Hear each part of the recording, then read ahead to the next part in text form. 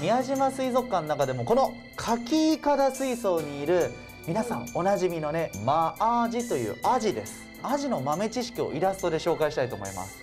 もしこれ知ってたらはい。お父さん食卓でヒーローになれますあねそうですね、うん。今回紹介してもらうのは食卓に欠かせないアジ。いろいろな種類やその名前の由来を1万5000点以上の生き物を展示する宮島水族館で教えてもらいます。アジにもいろいろあるんですよ。いろいろあるね。はい、いろいろあるねんと。事情が。はい、この子はねさっき見つけてくれたこうマアジって言いますけどアジはいろんな種類がいまして例えばこんなおしゃれなアジもいます。これアジなんですかそう糸引きアジといってねヒレがひらひらーっとね綺麗形が変わおってしてゃれなそ小島さんですね。人アナウンサー界の小島さん。あそうなんです。広島で言ったらじゃあ小島さんです。小島アジですね。体が特徴的なアジや色が違うアジなどさまざまな種類がいる中でかなり大きいアジもいるんだとか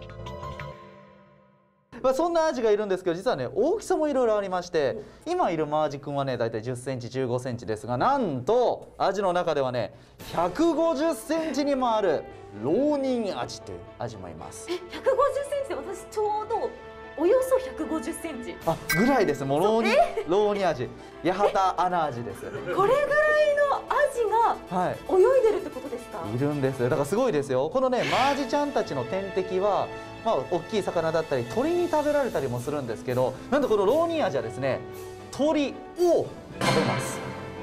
鳥を食べる？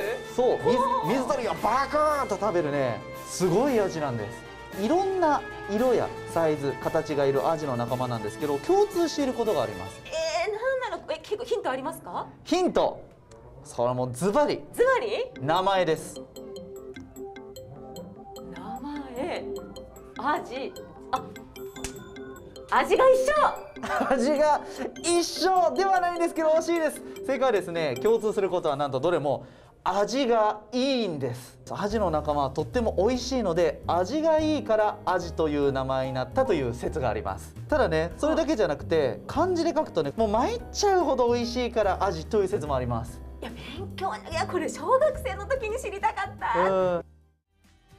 面白い名前の由来を持つアジをはじめさまざまな魚を飼育する水族館はいろいろなことを教えてくれる貴重な場所なんだとかこの魚の名前の成り立ちもうん。面白いですね、そうなんですよ。味食味からついた名前があったりして生態だけじゃなく日本の食文化にも昔から根付いていたっていう証拠なんです。